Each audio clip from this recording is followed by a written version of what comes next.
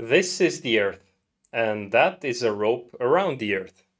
My question to you is, by how much we need to extend this rope so the space is large enough for a cat to squeeze through? Think about it, you have time. I won't reveal the answer in the video. Instead, I'll show you how to get close to answering it by building this visual demo using JavaScript and HTML canvas. Let's see if your coding skills can handle the stretch. Get it? Stretch? Because we'll increase the circumference. No, no, no. Gonna code, debug, and have fun. Coding with Radu. Coding with Radu. Gonna prototype and design. Coding with Radu. Coding with Radu. Let's code now. I'm gonna use Visual Studio Code as my editor.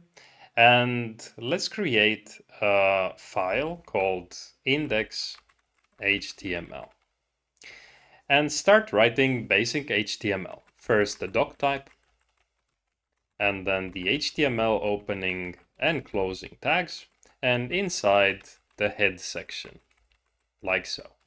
And let's start adding a title to the page. Title, maybe the earth and the cat.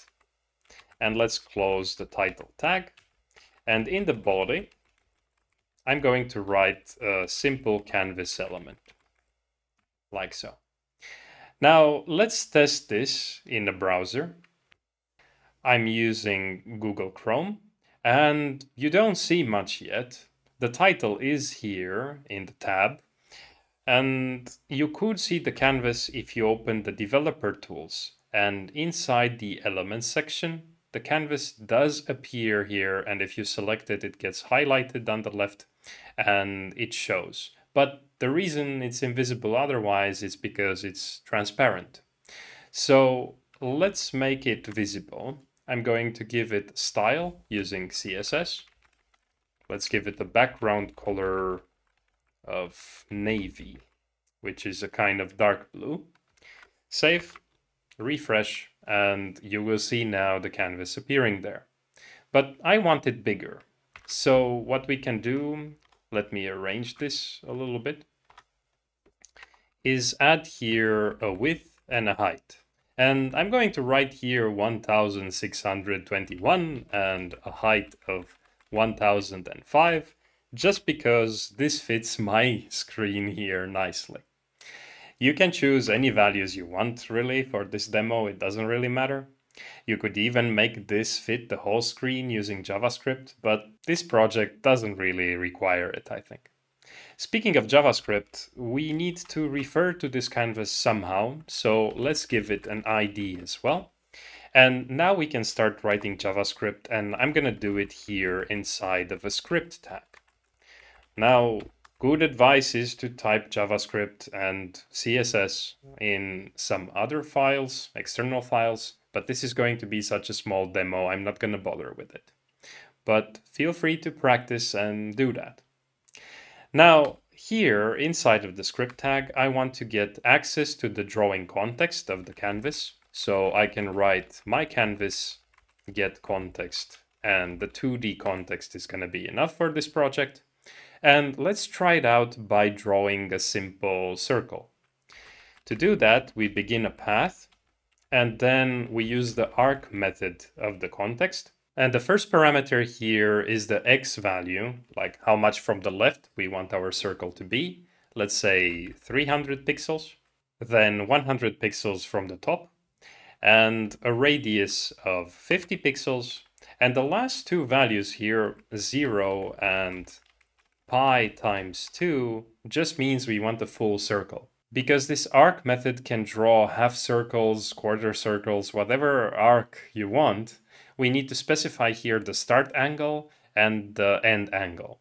And instead of putting here 360 degrees, this function works with radians. So 2 pi radians means a full circle. And then we can fill, save the file, refresh the page, and it's here, but it's dark on dark and uh, I want to be able to see it. So let's specify here the fill style and set it to white so it's clearly visible. And here it is. But I want it to be in the center. And instead of figuring out where the center is by dividing these values by 2, I'm just going to go up here and create a variable for it and calculate it using code. So x at my canvas width divided by 2 and y is my canvas height divided by 2. And this 50 and I'm also going to define a variable for this radius here. So let's say radius is 300 this time and I'm going to draw a bigger circle in the center of the screen like so. And doing this, you see this function call here became much more self-explanatory because you can read this. It's going to draw an arc at the center of the screen and you do need to know what these parameters are, but that comes with practice. Save the file, refresh the page, and here is our very large circle. Now, in this demo, we would like to draw a circle not with a given radius, but with a given circumference or length.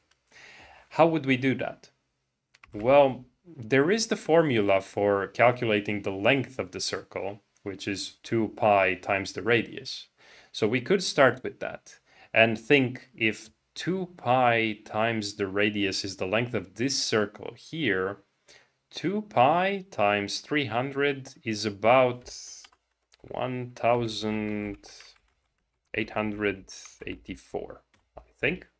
So we could draw a circle with the length of 1884 if we reverse that formula and say that the radius is equal to the length divided by 2 times pi. Now we should get exactly the same thing as before because the radius will be this divided by 6.28, which is about 300. So save, and I'm gonna go here without refreshing, and when I do refresh, you see nothing changed because we are now drawing a circle with length 1884 and that just means the same thing we had previously. If you would draw a smaller length, like maybe 500, you can see that the new code does indeed work. But it starts to be a little bit confusing, like what are we really doing here? And this is the time when I usually like to refactor a bit and extract this as its own function. So I'm going to write here draw circle with given length at the center and with length, the second parameter. I'm just going to wrap all of this inside of the function close the curly brace, and then test by calling this like so. Now this is going to be the same thing as before. If I save and refresh, nothing is different. But I could call this multiple times, like maybe this is length 1 here. And let's define also length 2 to be length 1 plus something, maybe 200 pixels. And now if we call length 2 and length 1, we should see two circles on top of each other. And we don't because they are both white. So let's give them different colors as well. I'm going to go here and add a third color parameter it's going to be a parameter that has a default value of white. And I'm just going to replace here white with that. So it's an optional parameter because of this. And I'm only going to specify it here for length one. So let's make this one blue. And now we should see a bigger white circle and then a blue smaller circle on top of it. And we do. Now, I want to work on the design of the app a little bit. So I want to make this look like the Earth or Maybe this is quite small here. I'm going to make it look like one of those gym balls and then draw a cat on top of it. So for that, I'm going to go up here and initialize an image like so. And I'm going to give it the source to be gymball.png. And when the image is going to load, we specify a callback function here. So this function is going to be triggered when the image loads. And what I'm going to do is only then I'm going to draw these circles because I want to draw the scene when we have the assets loaded. Typically, good advice here would be to have a preloader for your application, show that something is happening and that the image is loading. But this image is going to be a small thing and this demo app is not really such a significant thing, so we can work with this. And speaking of images, you can get them from the link in the description. I'm gonna add them now here next to the index HTML file. So what we have is this picture of a gym ball and this picture of the earth. So now the gym ball should be loaded into memory and when it loads, it's going to draw those circles. If you save and refresh, nothing really happens because we are not displaying this image anywhere. But if you do open the developer tools and go to the console and type img, you will see that there is an image of the gym ball loaded somewhere in memory.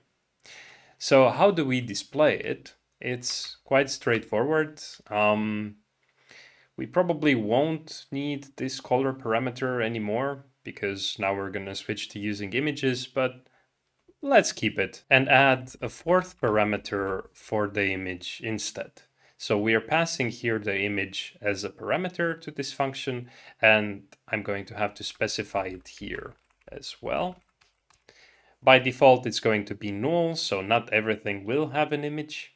But if there is an image, I'm going to go down here, check if that value is not null, like this.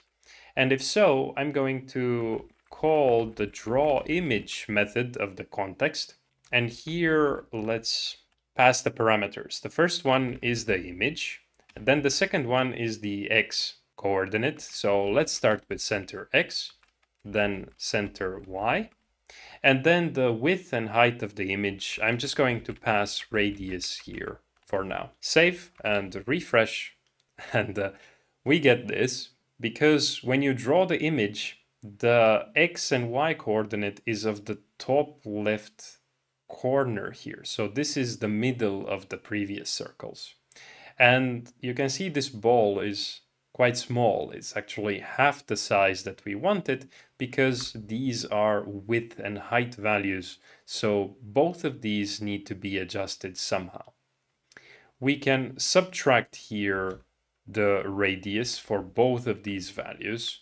So I'm going to say minus radius. And this is going to move the ball in the top left here.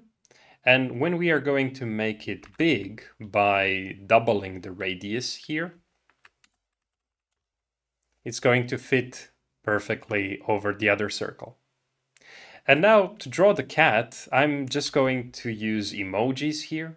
So that's just text really. And I'm going to start by saying fill text and let's just type here cat at the moment, center x, and then center y minus the radius because I want the cat to be on top of the ball. Now save, refresh, and you can barely see cat written there. I'm going to make it a little bit bigger, so I'm setting the font to something like 30 pixels. And now it's bigger, but it's not in the center here because the text align is by default set to left and we can fix that by setting it to center like so. Nice. And to make this look like a cat, I'm going to use an emoji. You can get it from the description. And when you refresh, it will look like this. The cat is overlapping a little bit the gym ball for some reason. I'm just going to fix it here by saying minus some small value like 5. And now it fits perfectly in this area here. Okay, so let's see what happens now if we make this huge, like the size of the Earth. well, on my screen, that's going to be something maybe like hmm, 2500 pixels. And let's replace this image as well, the image of the Earth, and save, refresh, and look at that giant cat there. Anyway, the important thing here is look what happened. Um, the cat still fits in this region, right? Even though we didn't change at all by how much we increased the length. It's quite counterintuitive, isn't it? Like, if I revert here and use the previous size, you can see that the cat always fits inside and this difference here always seems to be the same. So why is it like that? Well, if you think about what happens here, the formula for the radius, let's make a little bit of space here, is this. So radius 1 is length 1 divided by 2 pi, and radius 2 is length 2 divided by 2 pi. But length 2 is length 1 plus 200. So if we split that up, we get length 1 divided by 2 pi, which is radius 1, plus 200 divided by 2 pi. And that 200 divided by 2 pi, it doesn't depend on the size of the circle. So the spacing is always going to be the same and it only depends on by how much you increase. In this case, 200 divided by 2 pi is about 32 pixels, I think. So pixels don't really apply in the real world. By how much should we increase that rope in meters so the cat can fit in? Let me know in the comments. Thanks for watching and see you guys.